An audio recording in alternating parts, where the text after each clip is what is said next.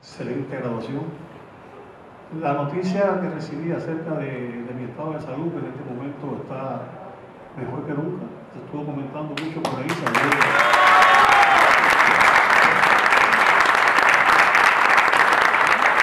Vamos a ir dando ver un ratito más.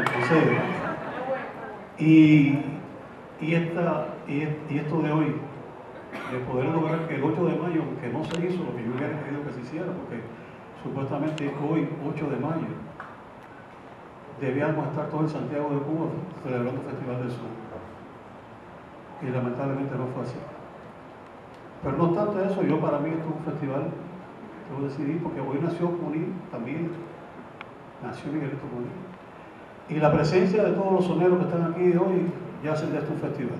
Ya esto realmente, eh, aunque no haya sido en Santiago, eh, el son está presente, el son está en Cuba entera, pero hoy está presente aquí esta tarde. Y le doy las gracias a todos ustedes, mis hermanos, por, por estar aquí hoy. Y digo públicamente que tenemos que hacer esto más a menudo porque la única forma de salvar ese género es que estemos juntos.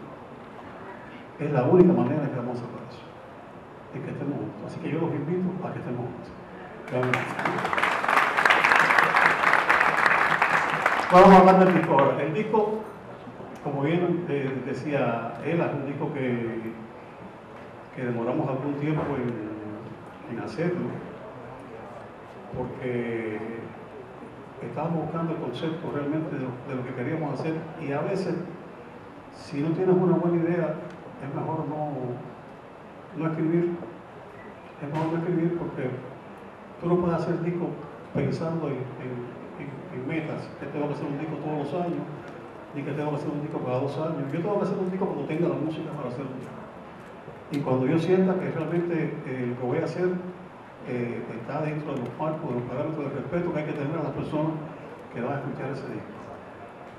Eh, este disco que tiene un poquito de todo, porque tiene la música urbana, como bien decía eh, Pedrito de la O, que no es nada nuevo. Yo una vez monté el momento que hacíamos, creo que eran como la quinta o eso. Manuelito, tú que la historia mío, después tú y, y he hecho muchas versiones de otros temas, el mismo este tema, Vivir lo Nuestro, que después se pegó mucho, porque lo cantó mi hija Yanixa con Rojita, y, y, las versiones siempre se usaron. La reina de las versiones, eh, la orquesta reina de las versiones era la orquesta Aragón, guitarra Felito, lo puedo decir. La orquesta Aragón montó todos los temas que estaban de moda al estilo de la Aragón. Y nosotros hicimos esta versión de este tema eh, de música urbana al estilo de Alberto Aparicio. Incluso la parte del, del, del reggaetón. Hicimos la parte nuestra y la, la y la, y la hicimos.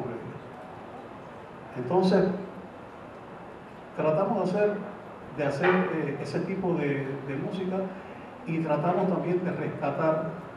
Yo un día en la casa me puse a escuchar toda la música, toda parte de la música que he grabado a lo largo de mi carrera y escuchaba algunas grabaciones que yo que decía, qué lástima que, que cuando se grabó este tema no, no existieran los recursos eh, que existen hoy en día para, para grabar.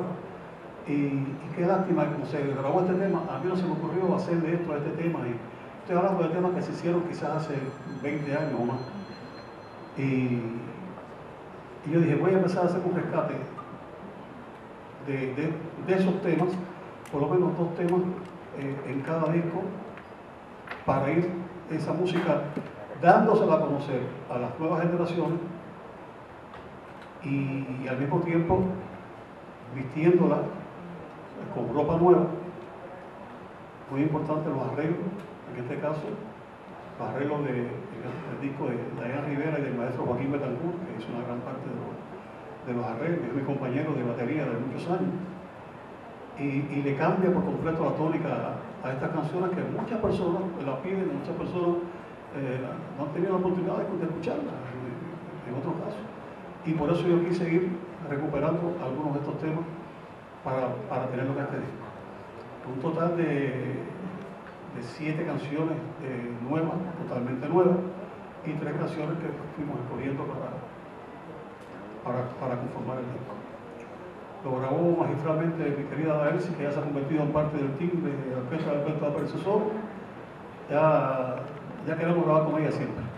Eh, tenemos un buen equipo ahí y, y luego decidimos hacer la mezcla en los Estados Unidos con un ingeniero que se llama Ronnie Torres, que es un gran ingeniero de sonido que, que trabaja con, con, grandes figuras de la música, con Gilberto, con, con Maganto, en fin, unas cuantas personas, y a través de uno de mis hijos vino a contacto y logramos hacer la, la conexión con él y fue el que hizo la masterización y la mezcla del, del disco.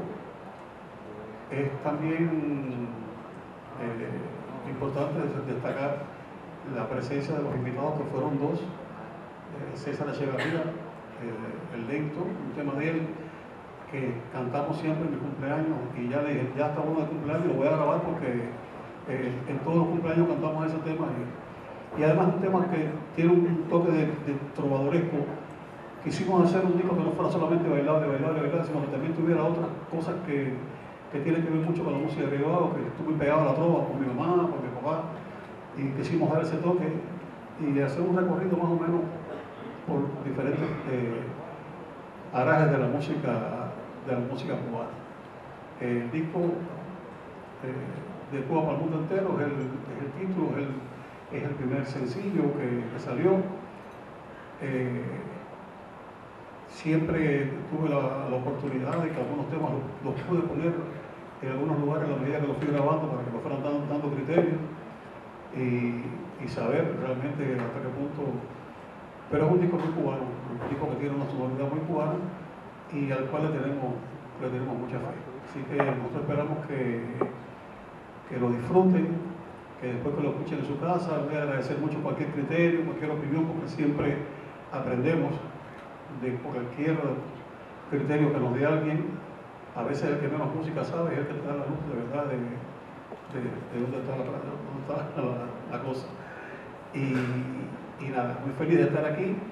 Agradezco nuevamente la, la, presencia de todos ustedes. Dentro de un rato voy a tener el honor de que mi orquesta, mis muchachos que están ahí, que les agradezco muchísimo. Ah, un detalle muy importante de este disco, en la sonoridad, es la inclusión del barítono, que el, el orquesta no tenía saxofón barítono y, y eso fue una petición de mi papá hace muchos años, siempre me decía, yo oigo la orquesta con un barítono y yo oigo la orquesta con un barítono. Entonces, bueno, pues yo me, autocomplací porque a mí me encanta también ese, instrumento.